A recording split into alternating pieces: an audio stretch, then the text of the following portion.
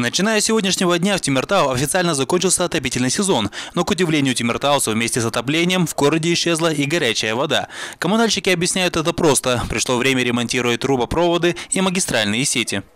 Провести ремонтные работы по трубопроводу 1200 по комбинату.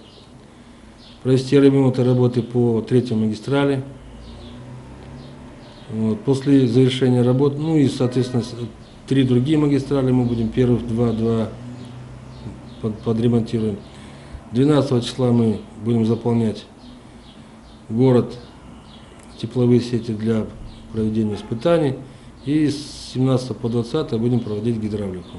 Горячей воды в домах тимиртаусов предположительно не будет до 1 июня, пока не закончатся гидравлические испытания и последующие ремонтные работы. Коммунальщики не исключают вероятность, что сроки подачи горячего водоснабжения, возможно, будут сдвинуты на неопределенный срок, о чем обещают предупредить тимиртаусов заранее. Сейчас же руководство ОГЖТПС-АТ предлагает жителям города либо запастись терпением и ждать, либо переходить на альтернативный подогрев воды.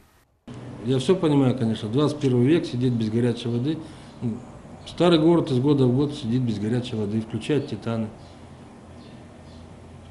Как отключили, вот, допустим, в апреле месяце, все, до сентября месяца их никто не включает. Ничего, жалоб нет.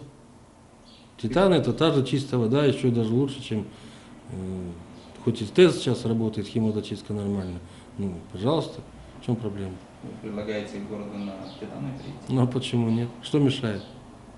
Коммунальщики поясняют, в период отсутствия горячего водоснабжения взимать плату с населения за недополученную услугу не будут. Кроме того, так как начиная с апреля все сети перешли на баланс государственной фирмы ОКЖТПСТ, ремонтные работы будут вести за счет собственных и бюджетных средств. Искандер Байкенов, Сергей Баданин, Новости Тимиртау.